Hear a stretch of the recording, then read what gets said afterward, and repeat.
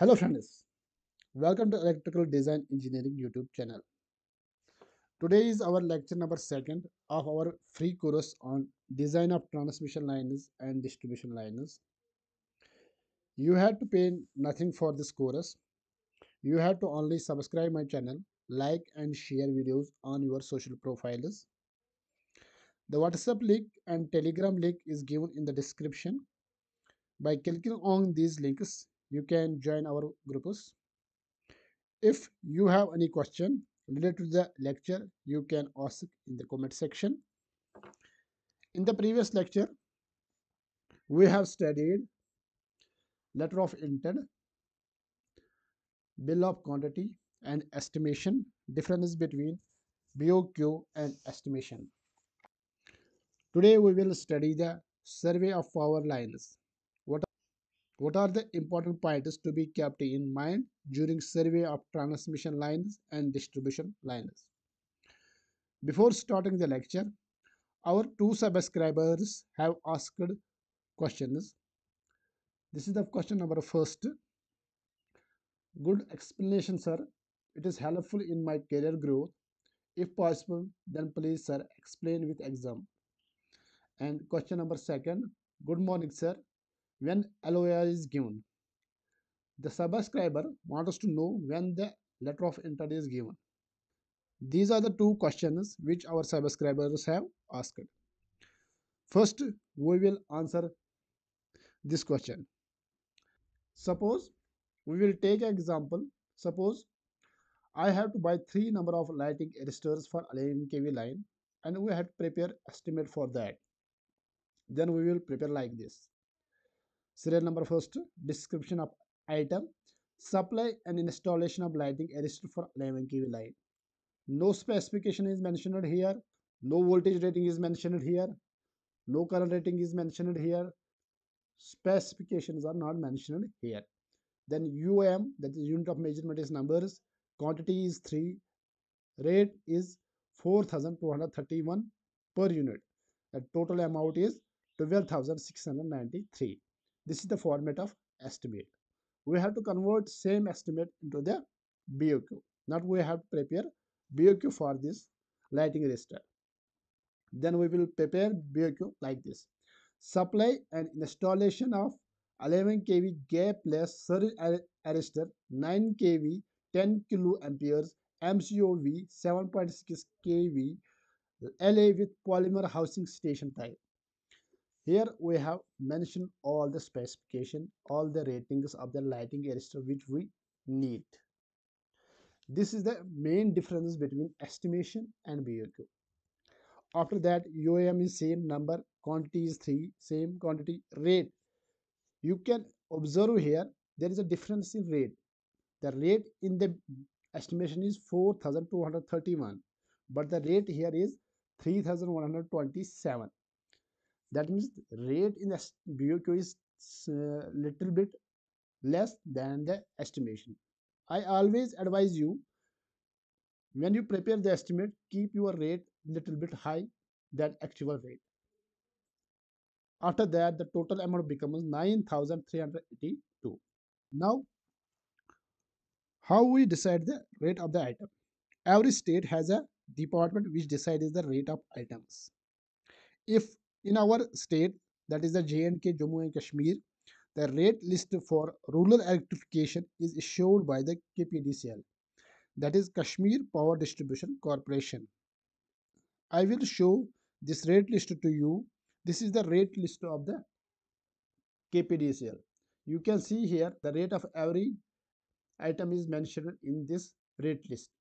If we have to find the rate list of the 9 kVA LA that is lighting arrestor of for 11 kV line this is the this is the rate of the 9 kV LA or 11 kV LA unit of measurement is set. 3 LAs makes make one set. The 3 LAs the rate is mentioned here 5890 this is the 3 LAs if we divide it into 3 it becomes 3000 something which I have already shown you 3127 but this rate is the cost of the material now we have to perform the rate analysis and find the actual rate for supply and installation. The rate analysis is here. The cost of material is 5890 that is the rate mentioned in the rate list. After that we add GST on the material. Then we add labor charges for installation. Then we add GST on labor charges overhead charges uh, contractor's profit. The whole thing becomes the complete rate of a item for supply and installation. Now if you have to upload a tender you have to issue a tender for that item. Then you have to convert the BOQ you have prepared into a tender format the tender format BOQ is like this. This is the tender format BOQ here it is written percentage BOQ because tenders are different times item wise tender percentage tender. Here the tender is percentage tender. You can see this is the tender format BOQ you have to prepare this and then upload in your e-tendering portal of your state or a country. Now we will take the second question. The second question is when LOI is given now you have uploaded a tender on the e-portal suppose three contractors participate in the bidding process let the contractors are a b and c after that we will perform the technical evaluation of these contractors. Suppose in the technical evaluation, all the contractors are qualified. contractor A has qualified, contractor B has qualified, and contractor C has qualified. In a technical evaluation, we can check the documents of a contractors. We can check his his license, we can check his GST number, we can check his PAN number, we can check his previous work, all these things are checked in the technical evaluation after the technical evaluation suppose all the three contractors a b c have qualified now we will go for the financial evaluation in the financial evaluation we will mainly see which contractor has placed the lowest bid. Suppose the contractor b has placed the lowest bid so the software automatically assigns him l1 that is the lowest he has quoted the lowest rate for the contract. Now we can show him the letter of intent. Letter of intent contains mainly the main terms of the con uh, contract and also directs the contractor to submit the acceptance letter based on these uh, terms and conditions of the contract i think both the questions are answered successfully and beautifully now we will go for the today's topic. Today's topic is survey of transmission lines and distribution lines. First of all, we will see what is survey. Survey refers to gather essential information about the route of transmission line or distribution line. The information needed to gather can be divided into three categories.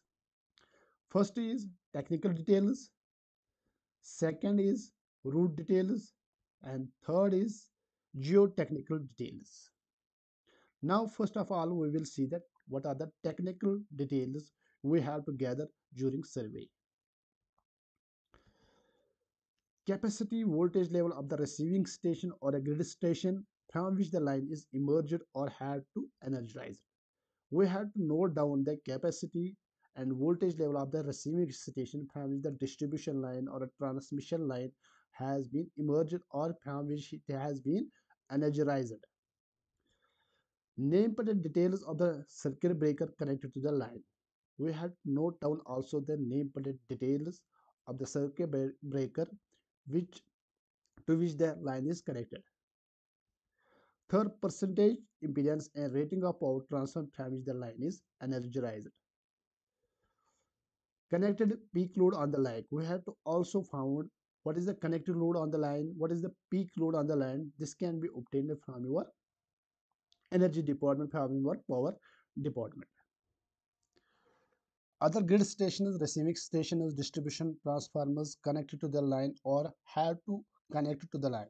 You have to note down all these things. What are the other receiving stations connected to this line?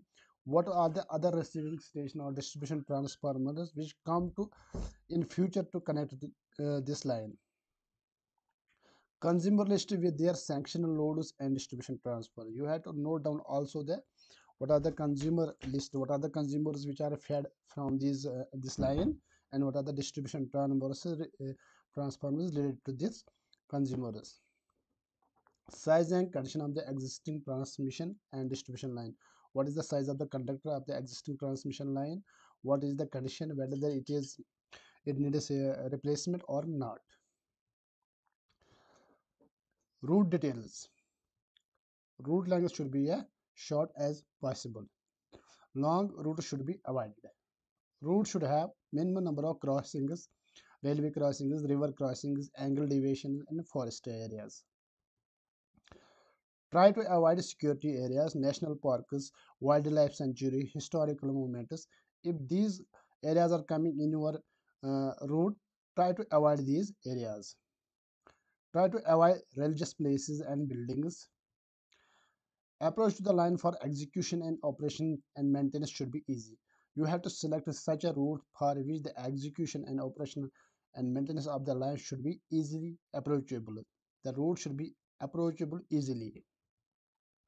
Try to avoiding agricultural lands because in agricultural lands we have to pay to the landlords. This increases the cost of the project. Then geotechnical details. This involves assessment of the soil and geological conditions along the proposed route of the transmission line. It involves determining type of soil, that what, type of soil you have, sand, silt, clay, soil bearing capacity, permeability of the soil, how easily water can pass through the soil, seismic activity of the region, slope stability, corrosive property of the soil. All these things I have to, you have to note down all these things.